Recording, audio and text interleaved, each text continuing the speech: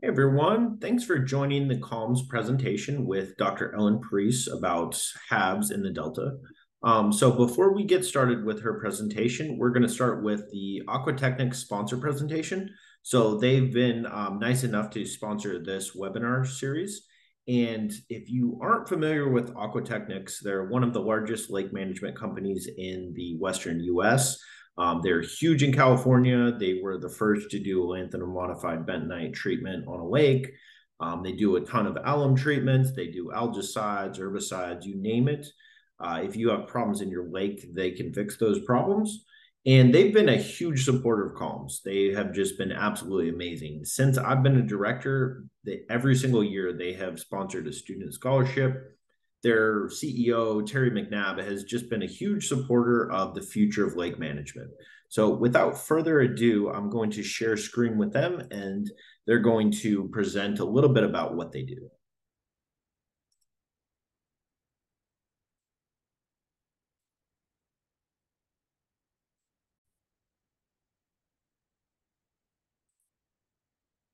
Hey, good morning. Thanks for the opportunity to speak to you. We are happy to sponsor today's event. And as part of that, they gave us a few minutes to kind of just talk a little bit about our company, introduce our, uh, our group to you if you may not know it. So Aquatechnics is a company that's been working in the Western United States for since about 1980. I've been involved in lake management since about the early 1970s. And um, our company footprint um, pretty much runs up and down the west coast, west of the Rocky Mountains. Uh, we've been um, in the space for a number of years and uh, have a number of people that uh, kind of help us in our mission. We're while we're an overall lake management company, we're primarily known for expertise in two kind of key fields. One is the restoration of um, lake and river systems that are impacted by invasive aquatic weeds. For decades, we've uh, been helping people remove an invasive plant like Eurasian milfoil and uh, replace it or allow the native uh, vegetation to recover by using selective herbicides. ProcellaCOR is the most recent addition to our toolbox. We're not yet uh, able to use it in California because of the state registration issues, but we hope to um, have that uh, out of the way soon. The other thing we have been working on for a number of decades is restoring lakes and reservoirs impacted by cyanobacteria. Today's talk is going to focus on that, you know, pretty pretty, pretty much. And um, this is just something that uh, we've also been involved in. We've used reactive um, algicide treatments for decades to restore or to open water back up. Uh, probably the primary uh, one in California that we did was about five or six years ago. The uh, Lake Silverwood Reservoir, which is the terminal reservoir for the California Aqueduct, um, they weren't allowed, they weren't able to deliver water to about five million users because of um, taste and odor problems and toxins that were produced by Anabaena. Uh, we were able to come in on short notice, uh, do a two-day treatment, and within 24 hours they were uh, delivering water again. So we've got you know high degree of expertise in helping people open reservoirs back up that are impacted using a combination of different algicides. We also in our operations use remote sensing tools like this to um, tell us when the lakes we manage are uh, starting to creep up, and we can kind of come out and, and, and help them out. The last thing I want to talk a little bit about is this nutrient activation. We've um, got an extensive history using these technologies to keep water resources and water bodies um, open and toxic blooms under control. Uh, alum is a primary one that's been used for decades. This is something that was originally developed under the EPA's Clean Lakes program. Uh, we've built our um, infrastructure up to do large projects. Canyon Lake is a lake in Southern California that receives uh, phosphorus inputs from a 300, or excuse me, a 73 mile square mile watershed. And um, for the last 10 years, we've been targeting the inputs every year through an in-lake application. It's been highly successful.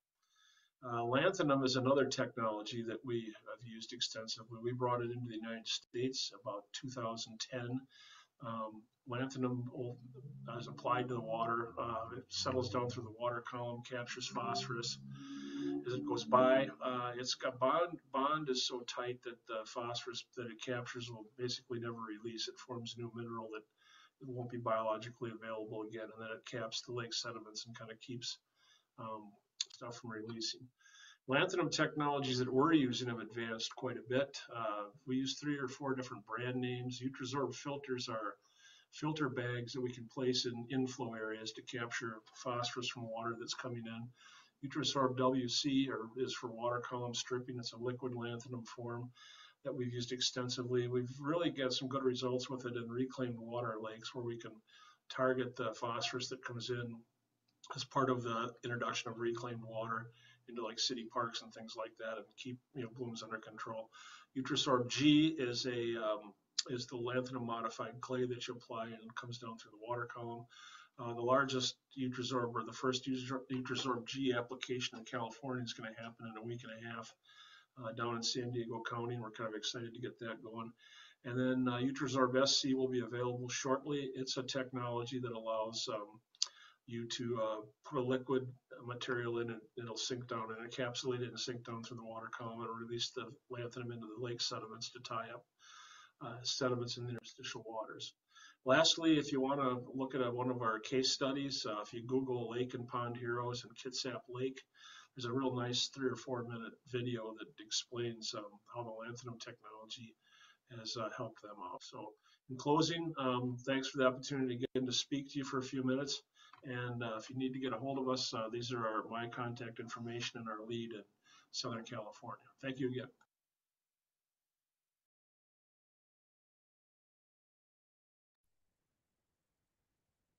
All right. So yeah, just a friendly reminder, Aquatechnics is amazing. They are so good at lake management and they are um, extremely supportive of the future of lake management. So if you appreciate the things that Calms does for the lake management community in California, um, we would really appreciate if you would support our supporters. And so I'll just share one more screen and then we will get to the presentation.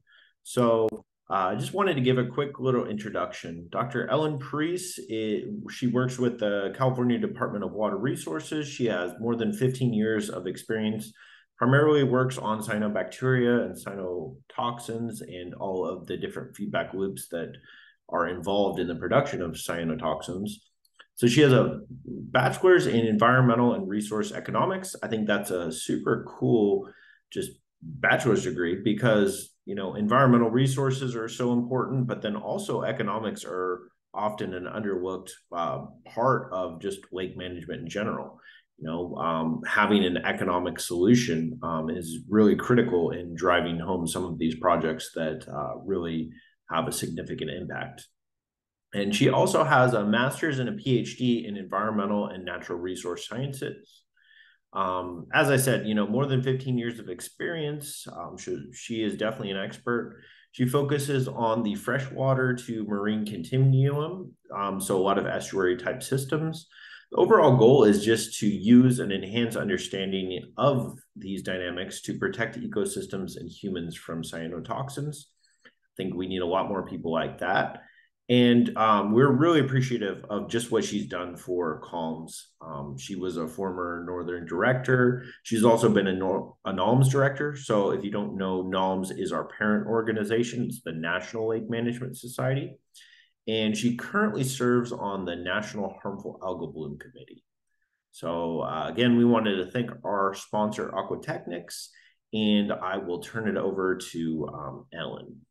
And so I'm not working on lakes specifically, but I am working on areas of the Delta that have um, some characteristics of lakes and that also experience some of the same water quality issues as lakes. And so we agreed that it would make sense for me to give a talk on one of the research projects that I'm working on here, which is looking at cyanobacteria dynamics in a lacustrine area of the Sacramento San Joaquin Delta. And this is going to be focused on the Stockton area. Um, and this entire project was designed with Janis Cooke from the Central Valley Water Quality Control Board. Uh, and we also together along with some other folks, collected all of the water quality data and interpreted it, and then put this presentation together.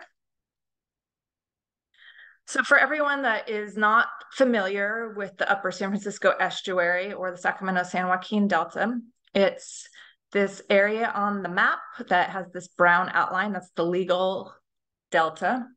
The entire uh, area is tidally influenced.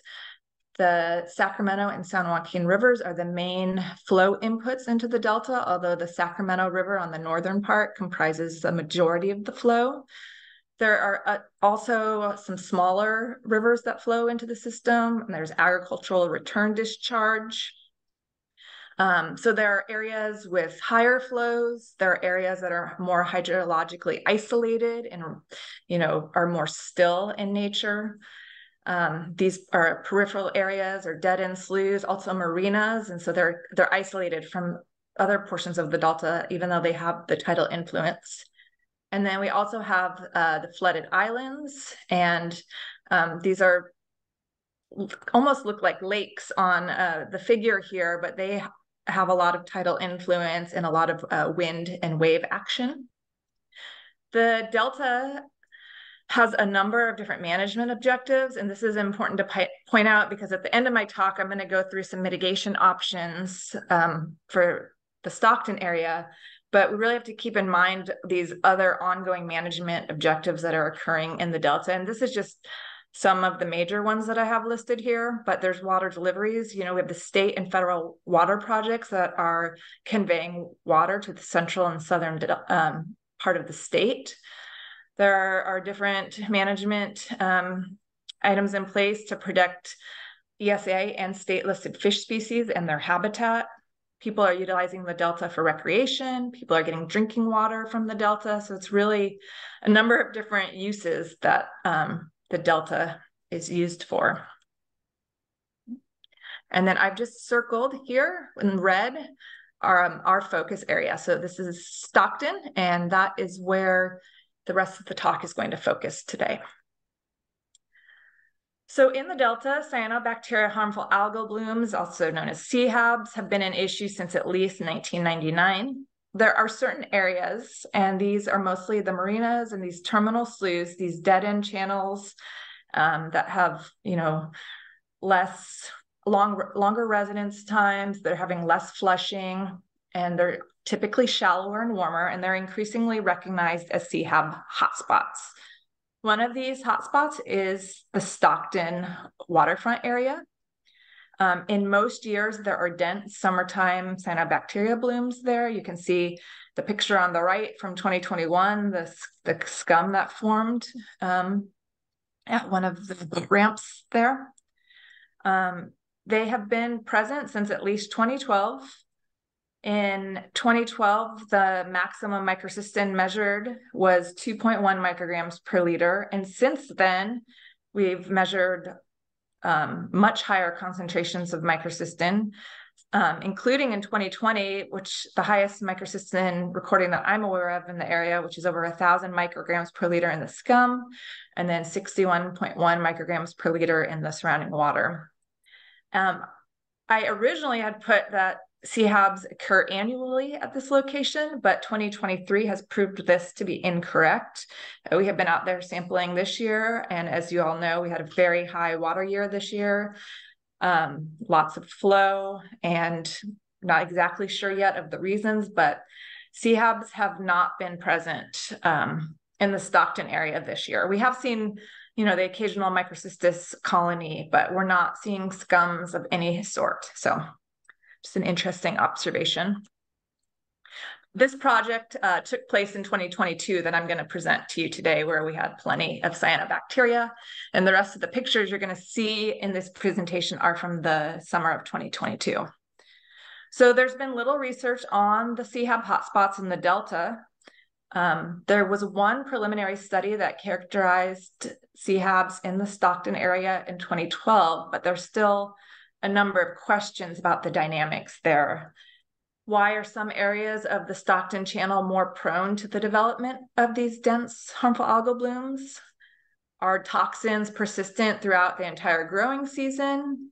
Um, when, if not when and where, are toxins the most severe? Is there a contribution of nutrients from the sediment? The delta is well recognized for having high nutrient concentrations in the water column, um, but there's been little work on looking at the contribution of nutrients from the sediments. And then what are some mitigation options that are realistic for dealing with the cyanobacteria problem in the Stockton area? So this map shows our study area. The entire study area is referred to as the Stockton Channel. Um, the I-5 bridge, you can see on this map, runs down the center and right-hand side of this figure. And to the left of the bridge or to the west of the I-5 bridge is the Deepwater Shipping Channel. And to the right of the I-5 bridge is the area that we refer to as the Stockton waterfront. Um, orange and the green circles are our primary sampling sites for our study. And then the blue uh, dots on this map and the numbers are data that other ongoing uh, efforts were collecting, and they allowed us to utilize their toxin data from their study in our project. And so I wanted to show where they were on this map. But our study area starts at number three, the orange dot, and then uh, finishes at number 13. This is about a five mile stretch of the Stockton Channel. So in the Stockton Channel, um, the Deepwater Ship Channel, approximately 30 cargo vessels pass through there monthly. Uh, they leave their um, goods at the port, and then they go down to number nine here, which is the turning basin, and they turn around and they head back out to sea. So the channel really shallows dramatically as you go east of number nine. So the seven and nine were 11 to 12 meters in depth. By the time you get to number 11 in the Stockton waterfront, we're at about six meters depth. And then number 13, we're at four meters depth, so much shallower. Uh, the Deepwater Ship Channel is integral to the city and port of Stockton's economy. It connects Stockton to the Delta and the Pacific Ocean. And then one other thing that I'd like to point out is uh, the San Joaquin River that's coming in from the south. And you can see this uh, scale on the bottom of the map that shows how far the different sampling locations are from the San Joaquin River. And it's notable that number 13, um, which is the terminus of the channel, also referred to as McLeod Lake because it is more lake-like in nature, is over two miles um, away from the San Joaquin River. So for our sampling, we collected, we went on seven, 11 sampling excursions in 2022. We did it once a month, May, October, and November, and then twice a month, June, July, August, and September. We collected water quality parameters at one meter increments at five of the stations, our five primary stations. Uh, we also collected surface water, which we analyzed for nutrients, toxins, and then also microscopy. Uh, we also collected water from the bottom of the water column to see if there was a relationship between the surface and bottom water. We were not sure if the area stratified or not. Um, and we looked at nutrients at that location. And then um, to start trying to understand if there was a contribution of nutrients from the sediment, we collected sediments and pore waters um, on three different events. And the sediments we analyzed for total phosphorus, metals, total organic carbon, and then looked at the composition of the sediment. Uh, we took that sediment sample and spun it in the centrifuge and then passed the supernatant through a filter and analyzed that for total phosphorus to see how much phosphorus was in the pore waters. Okay, so now I'm going to get into the results. The first question we had is, are the top and the bottom of the water column, is there a relationship between those samples? Uh, we use Pearson's correlation. So on the y-axis is all of our top measurements with temperature, dissolved oxygen, specific conductivity, pH, chlorophyll, phycocyanin, total nitrogen, total phosphorus, phosphate, ammonia, and nitrate. And then those same parameters are the top of the x-axis, and those are from the bottom of the water column. And what you can see is that we had a significant positive correlation between all top and bottom water samples. That's what's circled with the red ellipse on the screen. So the darker blue and bigger blue the circle, the more positive um, the correlation is between the top and the bottom of the water column. Um, so we observed no stratification and we found that the water column was well mixed at all of our sampling locations. Okay, um, next, this is a principal component analysis, and there is a lot going on in this figure, but there's a few takeaways that I want you to see. So first is we have our sites um, in the legend on the bottom. Uh, the red is our site that's the furthest west, so the Deepwater Ship Channel. Same with yellow. Green is that turning basin, so that's where the ships are turning around. The Morelli boat ramp is what I mentioned was six meters in depth. That's just east of the I-5 bridge. And then McLeod Lake was the terminus of the channel, and um, that was the four meters depth. And what you can see from this plot, looking at the ellipses, is that the purple ellipse, the McLeod Lake, really separates out from the other sampling locations. Um, and the Deepwater Ship Channel sites are on the far left of the figure, whereas McLeod Lake is on the far right of the figure and more closely associated with um, the parameters that are related to cyanobacteria. So we had a really high dissolved oxygen and pH, high phycocyanin, high, high chlorophyll. And then uh, there's something else that we use here in the Delta called the visual index, where people look at the water column, and it's a it's a qualitative ranking, but you evaluate how much cyanobacteria is on the surface of the water column. And we had the highest visual index readings at the McLeod Lake site. So I'm going to talk about this a lot moving forward. How the McLeod Lake really had the most severe bloom out of all of the locations. So these are some chlorophyll isopleths. Each panel is a different date. So the top left-hand corner is May 26th, and then we go into June, and then the bottom right-hand corner is September. Um, these are the five primary sampling sites again. Um, so on the far left, the San Joaquin River near Calaveras is the deepest portion, part of that deep water ship channel. And then McLeod Lake is on the far right. And what you can see and these isopleths is that McLeod Lake really has the highest chlorophyll concentration on almost all of the sampling dates.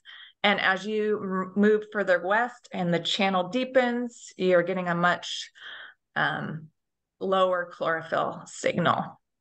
Um, it's also noteworthy that the highest chlorophyll readings were taken in June, uh, early June 13th.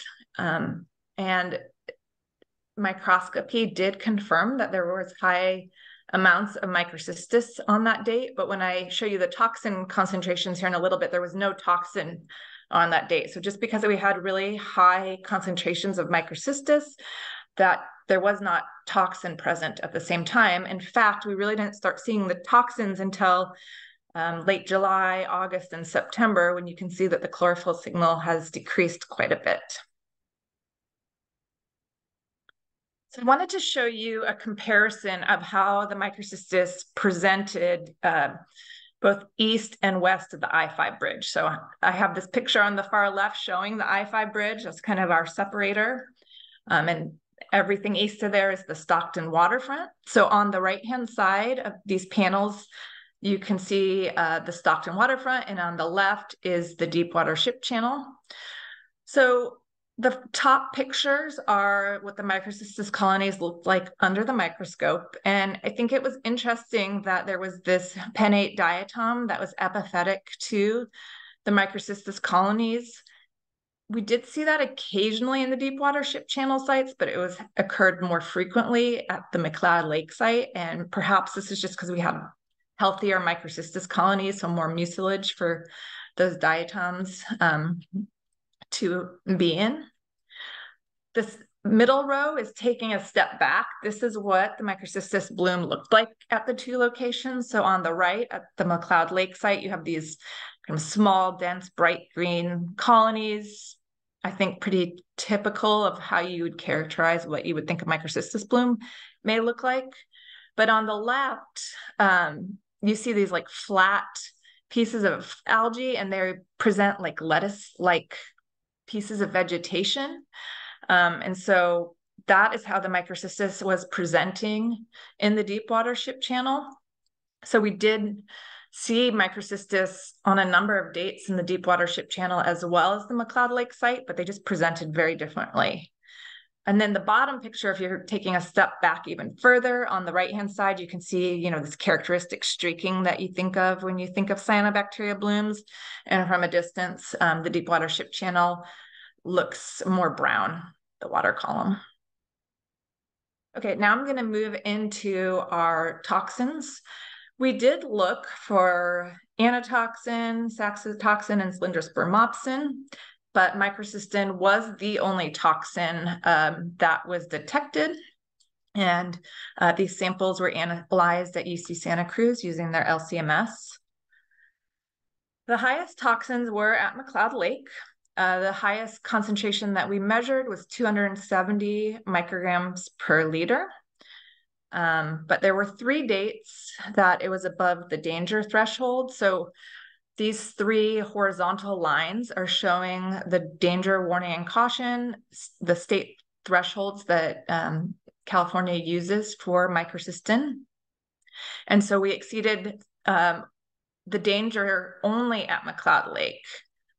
It's worth noting that we also saw dense blooms at the Morelli boat ramp. So that was the station just east of the I-5 bridge. Um, but maximum concentrations of microcystin were quite a bit lower. The highest we measured was 5.9 micrograms per liter, so just barely below that warning threshold and quite a bit lower than the McLeod Lake site. In areas where we had the flakes of microcystin, um, there were toxins, and you can see that by those different colored dots on this figure, but they were a lot lower. They were always below the warning and more frequently below the caution threshold. Uh, moving on to some of our water quality findings. The median water temperature was warm. So at all the sites, it was above 25 um, degrees Celsius between June and September. Um, but it was warmest at McLeod Lake, where it reached over 28 degrees Celsius on one of our sampling dates. The optimal temperature for microcystis is between 25 and 27 and a half degrees Celsius. Overall, the water column was well oxygenated at all of our sites. Part of this, at least in the deep water of um, the study area is due to aerators pumping pure dissolved oxygen into the deeper portion of the channel. This has nothing to do with the cyanobacteria bloom. This is to meet um, some low dissolved oxygen problems there, but that must have helped keep the oxygen high in the deep portion. Um, but we think that that oxygen has no influence on the McLeod Lake site. And so the microcystis bloom at McLeod Lake uh, was likely driving the really high dissolved oxygen that we measured there. So our median DO there was 12 and a half milligrams per liter. It's also worth noting that the microcystis bloom at McLeod Lake increased pH to well above nine throughout the entire water column during the bloom season. So I wanted to look at how the chlorophyll and phycocyanin readings from our YSI exo plotted against temperature. So we have chlorophyll on the left and phycocyanin on the right. Um, once again, the purple is the McLeod Lake site, and you can see the McLeod Lake site had the warmest temperatures of all of our study sites and the highest chlorophyll readings. Uh, it also had by far the highest phycocyanin readings of all of our study sites. This is another busy figure, but uh, what I really want you to take away from this is that there are really high nutrients all summer long. The top panel is total phosphorus, then we have phosphate, total nitrogen, nitrate, and ammonia on the bottom panel. Those dashed lines are um, from the literature and their thresholds for saying anything that's above this is non-limiting nutrients. Total nitrogen, um, some would argue that the two is very high. Um, the threshold somewhere between one and two, and we're almost always above one during the entire bloom season. So plenty of nutrients at all of the study lake study sites to sustain a bloom. Now moving into some of the findings from the sediment. Um, overall, we had pretty fine sediments at all of our study locations. I'm just highlighting in red um, the three Stockton waterfront sites, so those shallower sites. And it's just worth noting that we did have more gravels, uh, so some coarser sediments at this location um, than the deep water ship channel. Now, I'll get into this a little bit more in another slide, but there is dredging that occurs um, in the deep water ship channel to ensure that boats can pass through there. So that definitely influences the sediment composition in our study area. So some more sediment findings. Um, the iron to phosphorus ratio was high, ranging from 20 to 40. I'm showing the total phosphorus in the sediments in that figure on the bottom right, generally ranged from 300 to 500 micrograms per kilogram. The organic carbon was really high at McLeod Lake, uh, which is not surprising considered all, considering all the microcystis biomass that we saw there that then likely settled out of the water column. So our organic carbon at that site was 276,000 milligrams per kilogram. Um, in comparison, in the deep water ship channel is only 50 to 60,000 milligrams per kilogram. Moving on to the pore waters, uh, there was no significant difference in the pore water TP across sites. That's the top figure. Um, but the average total phosphorus in the Turning Basin site was almost two times as high as the other sites. On the bottom figure, um, comparing total phosphorus in the overlying water column to total phosphorus in the pore water. And total phosphorus in the pore water was significantly higher than the overlying water column. This suggests that there is some contribution of phosphorus from the sediments and pore waters into the overlying water column. So moving on to the conclusions, we saw a clear gradient of bloom severity with the most severe CHABs occurring at McLeod Lake and decreasing in severity as you moved west. But it is noteworthy that colonies were present throughout the entire study area. Overall, the toxin concentrations were pretty low outside of McLeod Lake. And visually, the bloom did not indicate if toxins were present or not. So even though the microcystis appeared really dense in June, there were no toxins present. Nutrients and temperature are sufficient to support microcystis growth throughout the study area from at least June through September. There were still a small number of colonies remaining at the Stockton waterfront in November when water temperatures had dropped to 15 degrees. Uh, it appears that microcystis at McLeod Lake engineer their environment to give the genera an advantage over other phytoplankton species. There's dense microcystis throughout the water column, so it's likely shading out the other phytoplankton. The pH exceeded nine at the bottom of the water column. Really high dissolved oxygen concentrations during the day. We didn't measure nighttime, but one would imagine that there's respiration occurring and that the DL would drop at that time. And then there was an increased deposition of organic matter, very high organic carbon at that site. And then our fourth finding is that phosphorus in the sediments and pore waters likely contributes nutrients across the study area. And some combination of internal and external nutrient loading likely created favorable conditions for microcystis to thrive throughout the summer months. So moving on to mitigation measures.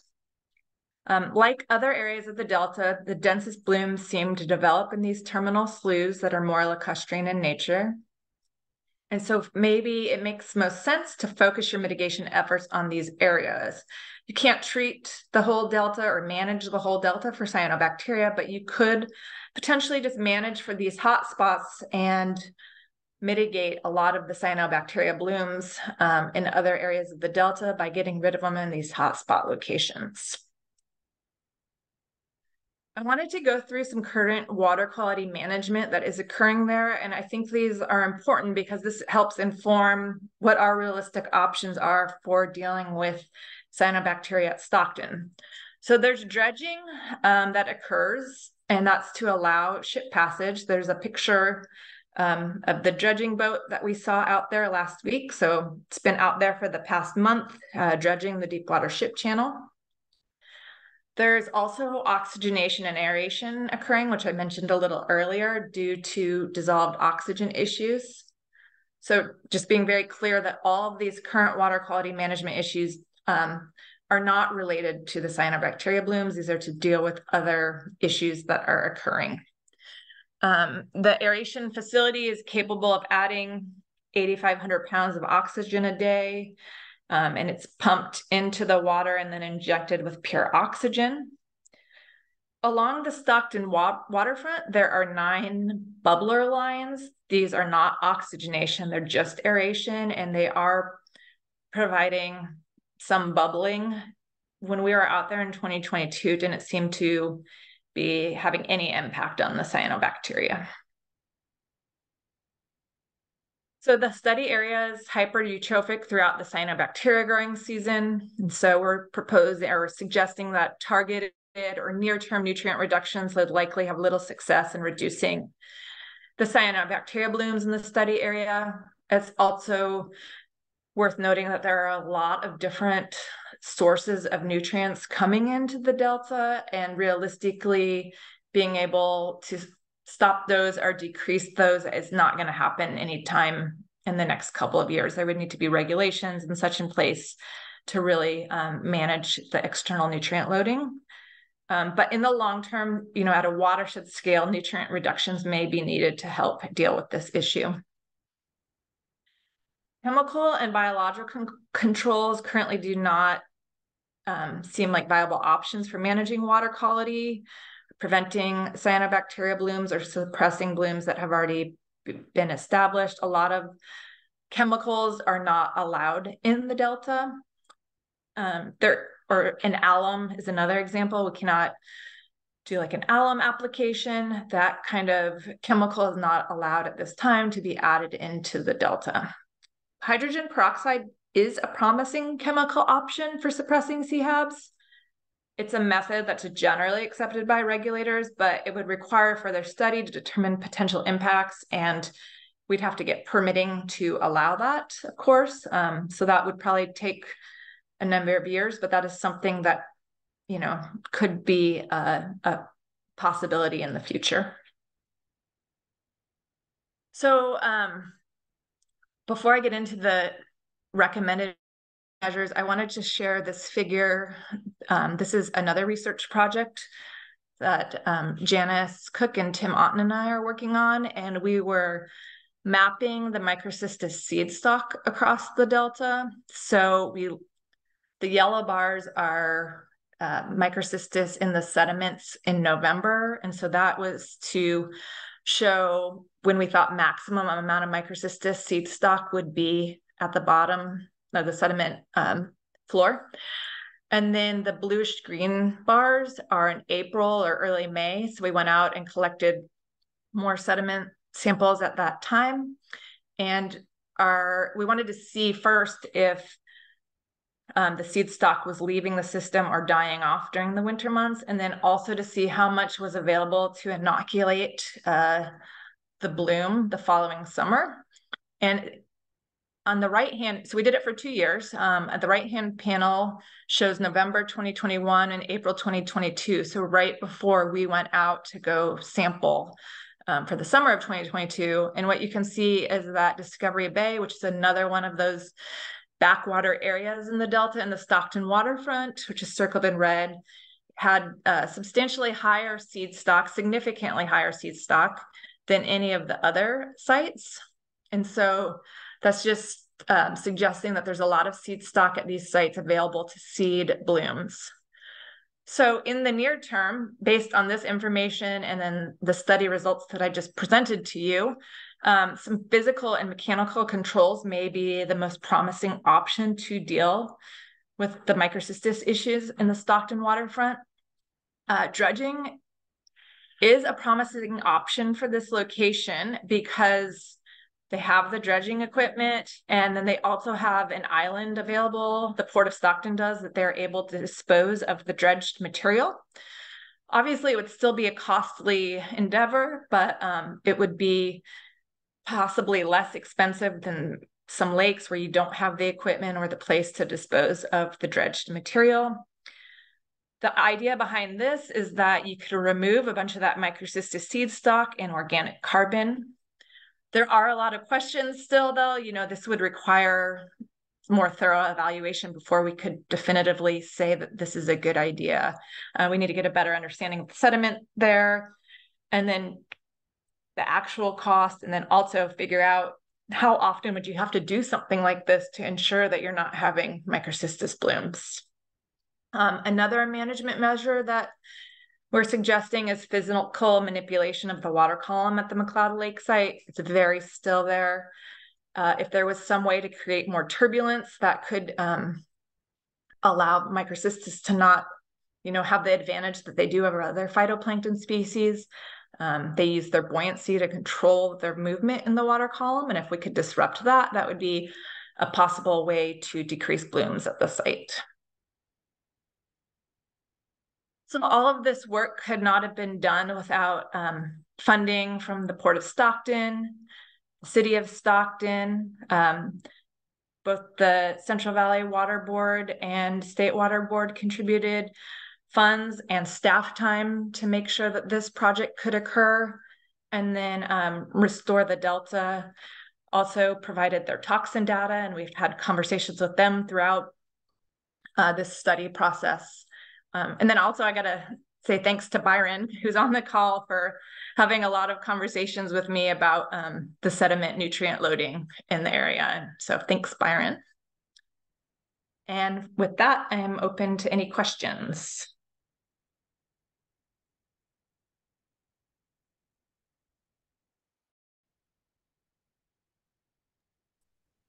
Yeah, hi, Ellen. Thanks, thanks for this. This is John Speranza. Um, something just popped in my head, and I don't know if you considered it or if it's even slightly related. But the way you laid out the sort of linear nat- uh, nature of your samples from the Deepwater Ship Canal um, out into the you know waterfront area, do you think that um, the inflows from the Calaveras River, the San Joaquin River, um, were in part responsible or could have possibly been responsible for some of the uh, the less the, the lower levels of microcystis you see out there. Um, just a just a question. When we went out there this summer i was positive we were going to see another microcystis bloom because you know you're over two miles away from those inputs but um, so it's possible that those flows had some something to do with it. It's also worth noting that June was quite a bit cooler this year than it has been in past years. Yeah. And so the diet, what we noticed is that the diatoms really took a hold of that area. We have really high, much higher chlorophyll readings than we ever had last year, but it's all from the diatoms. And so is it possible that the diatoms just got such a good hold on it early on that they were able to outcompete the microcystis? Um, I don't know because once again the water temperatures reached 28 degrees and so that is optimal growing temperature for microcystis but they just never took off this year. So we are not quite sure. Okay, that's a that's a good question. And just a uh, just a follow up to that answer. How tidal is that uh, terminal lake that you had? Is just trying to figure out if it's if it does have some significant tidal effects that mix or could, in this case, stand to break up some of the colonies. Water does rise and fall with the tides, but um, it's very still there. It's really, I mean, they call it McLeod Lake because it's it's so still. It almost looks like a lake, but and the salinity is quite low. It's like 0.1 ppt. Um, but it is tidal and it does move up and down. So okay. there is some influence there. Thanks. Much appreciated. Great presentation. Thank you. So we have, have a, oh, go ahead. Uh, uh, nice presentation. This is Tamara. Um, you mentioned that you looked at um, organic carbon in the sediments, and I'm just mainly curious if you think that's a, like a correlation that you tend to have high, you know, more organic rich sediments in backwater areas, and it's like a it's caused by the detrital material falling down there or does it actually help the you know, the overwintering um, cells survive if they're in certain kinds of sediments? Um, I think it's definitely related to the the bloom biomass and yeah, I think they are related. Probably the the high organic we just have more cells that are settling out of the water column that contribute to the organic col um, carbon, but then also are available to seed the following year seed stock. But that didn't happen this year, and we still, and you know, that's the confusing part about it is there should have been plenty of seed stock and organic carbon down there this year. We haven't measured, been able to measure that yet. Um, so why why did that not promote a bloom this year? I don't know. I guess I guess that's I mean that is pretty interesting because well the idea of dredging to remove the seed stock you would think would be effective. This year seems to suggest that that's not the primary control on your resulting uh you know abundance and species presence right? You're assuming you have seed stock. So that would suggest that maybe knocking back those seed stocks might not be you know uh, well might not be always effective. Sometimes it might be effective right?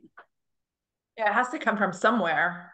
So maybe that seed stock got buried. I, seems unlikely because it's so far away but maybe that seed stock got buried this year by other sediment. I mean that's another option that didn't bring up. It's possible that sediment covered that because of its distance from the San Joaquin River, it doesn't seem highly likely, but it's possible. Without knowing how much is still out there available to seed it, it's hard to know exactly.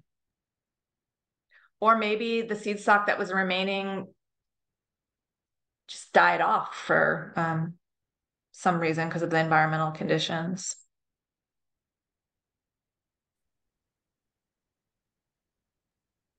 Just a comment on that um, Ellen, this is Scott Schuler. Um, you know, um, a number of years ago, I think it was 2009, we did a pretty extensive rhodamine dye study in the Delta. I mean, yeah. what we're, I mean, water within 12 hours is moving six plus miles. Um, I mean, so you're mixing sediment and and uh, water over very large distances over the court with the tidal, you know, especially on a large tide week where maybe, you know, low tide is two foot below um, sea level and high tide is five feet above sea level. So you can move move very large quantities of water and transport very large quantities of sediment over large distances in the delta in a short period of time. And so I would assume that um, seed stock for cyanobacteria could do the same. Just something to think about. I wonder how that works though, like in the waterfront area what that doesn't my understanding is that the dye study was in the deep water more in the deep water ship channel, not in the waterfront area, but maybe I'm wrong. Um, and I'd also like to just mention for additional thought is you know Discovery Bay, as I mentioned, was another area with high seed stock, and it is blooming this year. So why it, would that location have a bloom and the Stockton waterfront not?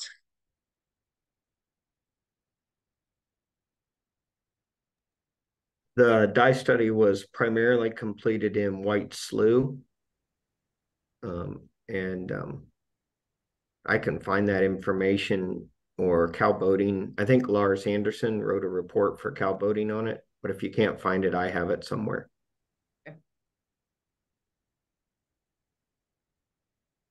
It was Bill Taylor. Um, it was an excellent talk, and I, I learned a lot from it. Oh, thank you for that. I had a couple of questions. Actually, one related to Scott's. The I don't know how much what the volume of the water is in the area you would call the lake versus the amount of water, even if it's slow and not turbulent, the amount of water that comes in and out twice a day with the tides, you know, how much of there's got to be some a lot of water exchange, I would think, even if you don't see a lot of turbulence in there. Um, have you done that calculation? Uh, we are interested in pursuing some modeling of that area to get a better understanding of that question, but it hasn't been done yet. Okay. Yeah, I was, uh, I didn't quite catch, it looked, sounded there, it looked like you were injecting or they were injecting air up to 200 feet deep into the sediments. Is that? I, and I gained, I took that off of the web. I'm not, I don't, I couldn't answer really any questions about their system. Um, I don't know if someone else on the phone knows more about it than I do. I just know that it's um, keeping dissolved oxygen concentrations higher than it did prior to the system being installed. And so, what part of the where was that? Where is it that they're doing that? There are two pump facilities uh, adding the oxygen into the. It's in the deep water ship channel, so that the deeper Okay. area where the ships are going through. Okay. Okay. The other thing kind of surprises me that as dense as the blooms are, that you never you never see any kind of a decline in the oxygen um, relative to the die off. There's got to be a lot of decomposition going on at some point. Yes, and you know we're only. It's like a discrete measurement in the middle of the day. So I'm sure that DO is plummeting in the evening, you know, as it's respiring and dying off, but I, I don't have that. I'm not sure yet without having a continuous monitor out there, which we, it is something we're pursuing is having a, a station out there to monitor in, in real time uh, the different water quality parameters to get a better understanding of Through the the day. condition through day the and day. night. Yeah, Yeah. I, I- that could be really, really useful and interesting. Yeah, I agree. So there's been a very uh, popular demand for some questions and answers from Ellen. So I'm gonna go off the chat right now, so we don't keep those people waiting. Um, so if you do have some questions, um, just throw them in the chat, and if you'd like to, I'm I'm happy to let you guys um, read them and and have that dialogue. Um, Matt, do you want me to read your question, or would you like to um, ask Ellen?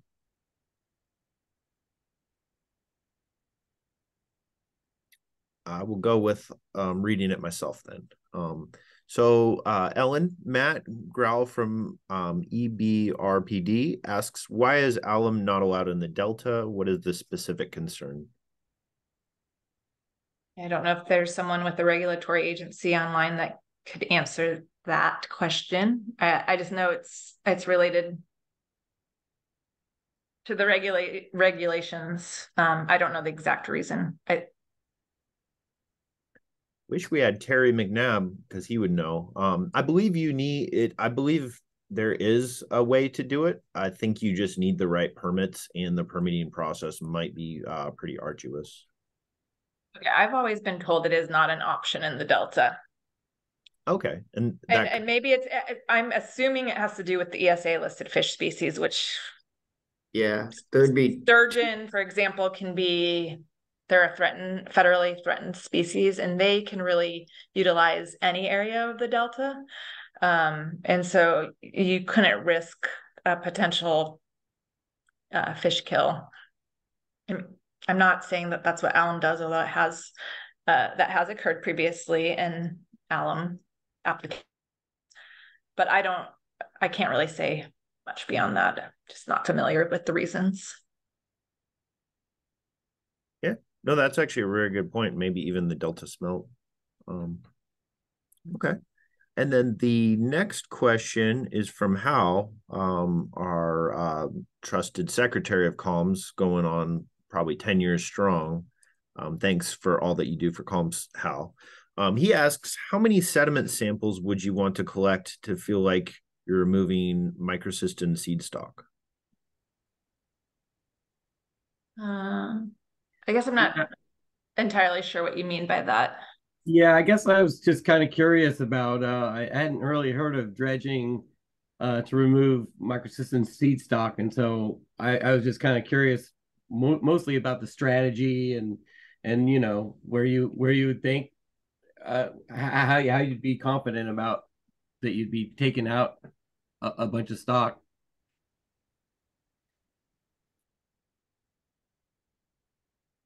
How would we be confident that we were taking it out? Yeah, and and where would you strategize taking samples or or, dredging? Uh, would it be in the uh, you know deposition zones? Um, would it be in on the in the shallows where or or in, in areas where the microcystin might uh, accumulate and die off? Or I'm yeah, I'm, I'm just kind of dropping For my this head. For this particular location, I would suggest the McLeod Lake site because that's where we had by far the highest organic carbon. Um, there definitely are more studies that would need to to be done. I mean, probably the whole Stockton waterfront would make sense to dredge, just like they're dredging the deep water ship channel currently. Um, I think it gets more that question gets more complicated in other areas of the delta if you're trying to manage other hotspots. And I'm only like putting this on the table here because the equipment's available and I've the Port of Stockton is who operates it, and I've asked them if if dredging is on the table to mitigate this if we found that that was their best option, and they're open to the idea of it. So um, it could be promising to remove all that. I think we need more studies though to understand the sediment. Like how deep would we have to go to get rid of it all? I, I don't know any of those answers yet. All right, thanks. Great talk. Thanks.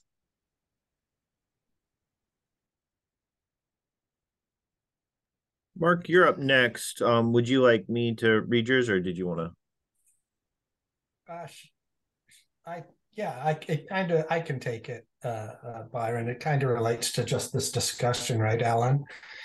It's like what what could we do experimentally? I mean, dredging just seems to make a ton of sense. Just at least as a start, right? Get rid of all that organic matter. Um, mm-hmm any thoughts on what we could do experimentally with chambers and, and what we could do in the lab to help you? And then another thought I was just typing up is there maybe with what I'm hearing is there's some tidal exchange, but could we set up a curtain area? You know, this the linear nature of the site kind of set up a side by side test and dredge, you know, one area that's curtained off, add adds lanthanum based material to another curtain, like the limnocorral concept, but then you like lose the flushing effect. But uh, any anything that might come to mind, putting you on the spot here. Well, I'll just say I don't know about that kind of experiment. So I don't think I said at the beginning like there's a public boat launch, you know, in the Stockton waterfront. There are houseboats uh, where people are living um, and some marinas kind of on the side there. There's also um, a homeless population that is living um, on the north side of the waterfront bank. So I, I don't know how they would feel about something like that. Um, as for the studies, like I think we'd need to get an understanding of like how much material we would need to remove for it to be effective. And then Mark and I have talked some about like really wanting to answer the question too: Is there could we get rid of some internal nutrient load by the dredging as well. I think that's a possibility. It's to me, it's unclear. Like we know from our study, it's there's suggestion that there is internal nutrient loading, but it would be bed, better to quantify that because if you could get rid of you know all of this nutrients as well as the organic carbon in the seed stock for the yeah, I'm guessing there's a lot of internal phosphorus loading, even though the oxygen may be high. It's just mineralization and mm-hmm. um, you know, there's this kind of conceptual model that oh, if the sediments are oxygenated, they're going to retain uh, the phosphorus. But there, this and you had your iron to phosphorus ratios that seemed like reasonable, um, but it could be that there's just so so much organic matter there that there's uh, in, you know release kind of all the time, just keeping these things sustained.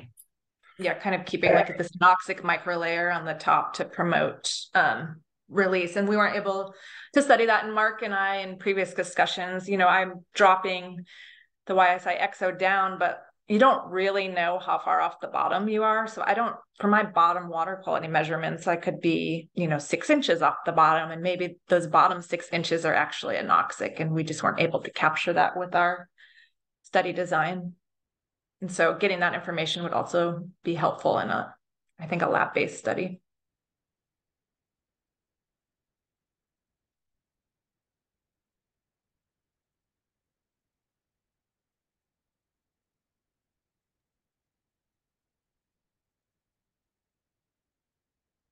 Any idea how deep the sediments are? Totally? No, I That- do not. That whole area has been receiving sediments for a long, long, long time. Um, I, as far as I'm aware, they're dredging the deeper portion every couple of years because they need, you know, they have an agreement with the Army Corps that they need to keep it at a certain depth for those large container ships to pass through. But what's, once they dredge it, what's under, what's left? Is it still sediment? I would think so. I mean, and that's like another question. And maybe we just have naturally high phosphorus sediments in the area. So it's possible that you could remove all of these sediments and then not really um you could still have nutrient loading if you have these phosphorus rich sediments. And so I don't know anything other than like what's on the surface. A core study of some sort might be able to answer that question and uh, answer a lot of questions and save a lot of time and money. Mm-hmm. Uh, we have we dropped core cores to get the seed stock, but we used a ponar for our, our the study I presented today. Um, it's hard. It's it's so mucky. I mean, the sediment is it was hard to get like a nice core because it's just a goopy sediment. But I'm sure if you had the right equipment, you could get a, a, a good core.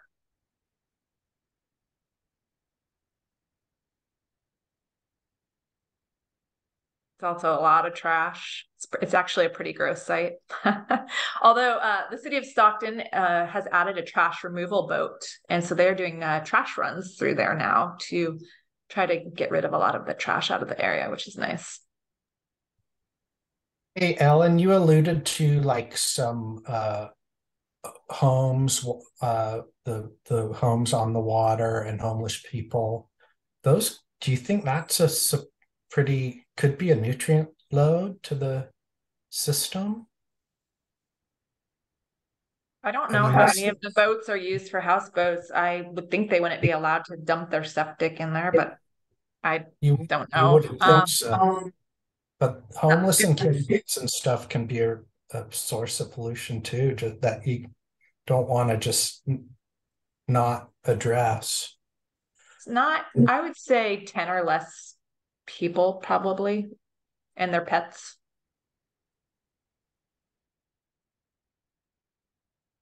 Live there. Yeah, there's likely a lot of, I mean, we don't know where the external nutrient loading, like we haven't done that study either, where the external nutrient load is coming from, how much is coming in there. Don't have any of that information at this time.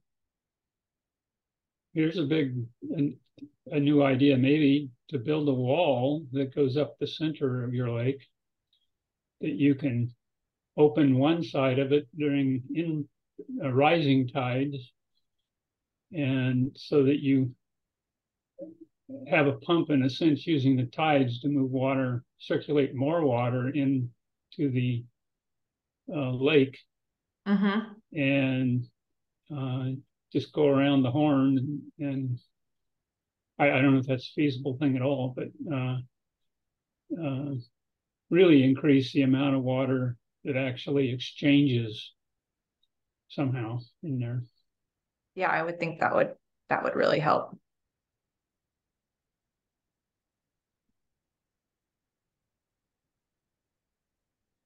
Yes, oh, I appreciate everyone's ideas. big projects. what? The Army Corps, they love to do big projects. and the permitting on that's going to be really easy, right, Bill? I think it's also worth mentioning that um, the Stockton waterfront, you know, is an important place to a lot of people, including some non-governmental organizations. And so there is a lot of interest in um, improving the water quality there. There's a lot of different uh, community groups that are very concerned. about the water quality and the toxins that are present at that site. So there's a lot of interest in in finding a solution uh, sooner than later.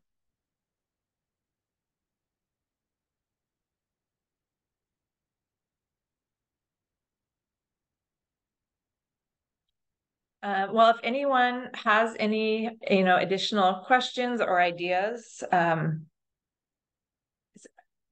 please feel free to reach out to me. I, I don't know if I, uh, here, I'll put my email in the chat.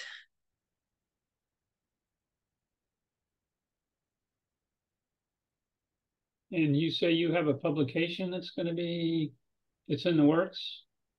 Yes, it's been through the first uh, round of review. And so I'm addressing the reviewer comments. And we actually, for the publication, the University of North Carolina um, was out the same summer as us and was doing bioassays in their laboratory with the Stockton water. And they confirmed our findings that, you know, very hypereutrophic waters.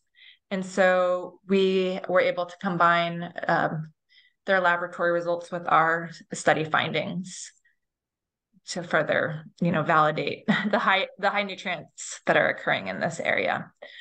So hoping I can get that back in for a, a, second review sometime here in the next week or two, and hopefully by the end of the year that will be out. Can you tell us the journal? It's Journal of Environmental Management, and um, it would be an open access article, but I'd also be happy to distribute it to people. Excellent. Put me on the list. Okay and it does that paper we will have a second part of the paper that deals with the toxins this one's really about um, the nutrients and other water chemistry parameters